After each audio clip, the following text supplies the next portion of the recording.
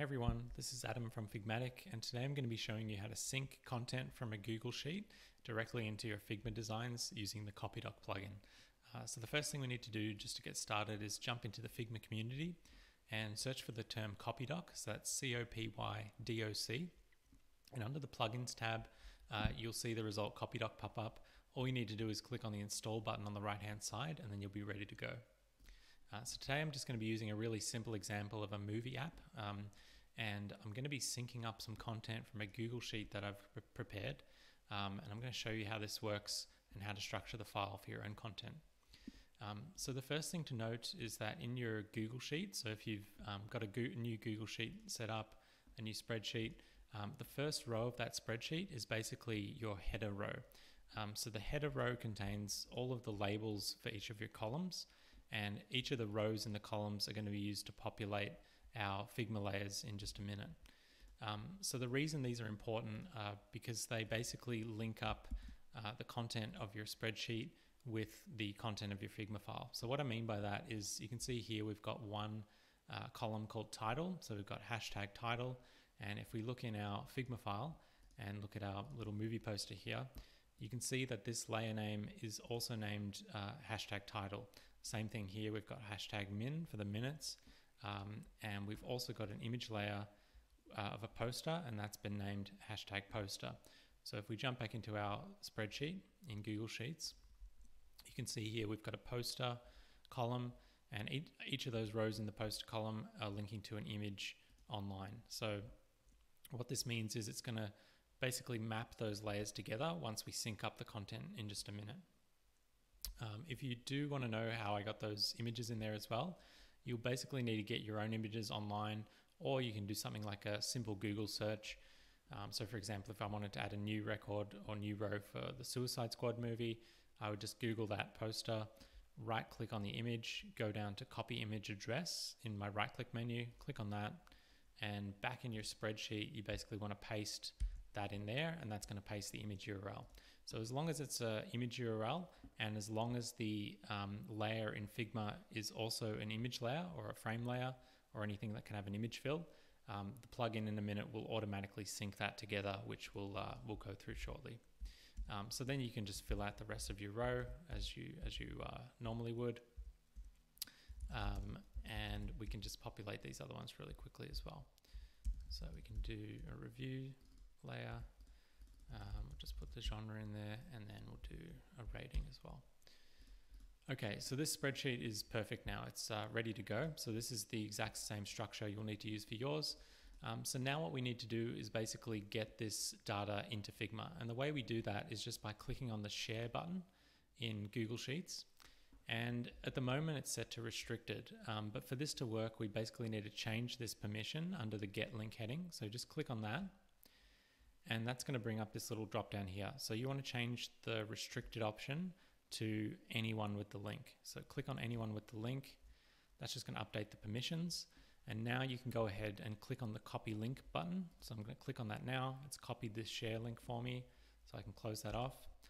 And now we can go back in the plugin and finally run the, the uh, uh back in Figma and run the plugin. So if we just right click anywhere on the Figma canvas, go down to plugins, click on CopyDoc, uh, and that's going to run the plugin that we just installed a minute ago. And in this tutorial, I'm not going to be covering any of the other features of the plugin. I'm just going to be looking at this new sync spreadsheet content feature. So we can open that up by clicking on the sync content button here. So I'm going to do that now.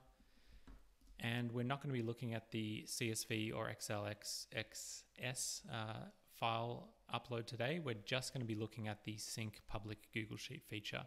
So down here, we've just copied our Figma, uh, sorry, Google Sheets link. Um, so in our Figma plugin, I'm just going to click on this input, paste the plugin that I just shared, uh, copied, and you can see here it's loaded in our spreadsheet columns from the Google Sheet. Um, so that's pasted it in. It's saying that it's a valid Google Sheet URL. Um, so that's all good to go, and we can see a preview right here. Um, so the next thing we need to do is just make sure that we've created uh, enough of these posters that we want to actually populate. So I've got my component here. Again, you don't have to use a component. You can use a frame or a, you know a group or any any kind of layer like that. In my case, I'm just going to create three instances of the component. and I'm going to copy paste those on my canvas and just move them around. And because they're instances, the layer names in those instances are also um, matching the headers from the Google Sheet as well. So that's perfect. That's exactly uh, what we want it to do. So now all we need to do is click on those uh, four layers. So I've got the component selected and the three instances. And now that I've got those selected, I can go back to my plugin and I can click on this button called Sync Spreadsheet Rows with Figma Layers. And it's telling me I've got four layers selected. So I'm going to click on that now. And this is basically going to start mapping our content together. So it's downloading the images that we specified in our Google Sheet. Um, so it's going through and downloading each of those um, in high resolution.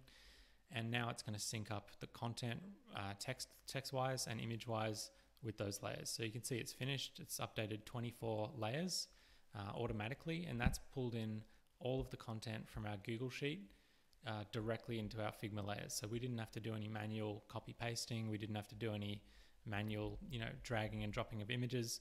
Um, it automatically populated that for us based on whatever we had put in our uh, Google Sheet. Um, so just to double check that, we can go back into our sheet and you can see here it's gone row, uh, row by row. So we've got two, three, four, and five. And basically for each of the layers that we had selected, it'll loop through those selected layers and, and just swap out any layers that it finds with those matching uh, layer, layer names.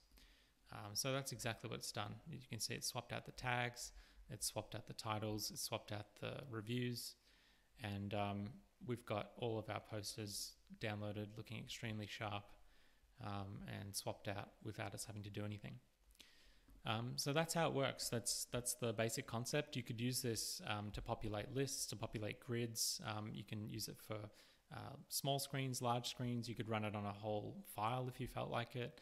Um, it's a really powerful tool for automatically populating uh, Figma content directly from a Google Sheet, um, Google spreadsheet, um, and you can just basically use this format to to uh, yeah populate any kind of content that you want um, depending on what your use case is. And yeah, as many rows as you want to put in and as many rows as you want to uh, copy and paste in your file. Um, it's really up to you to decide how you go about using it.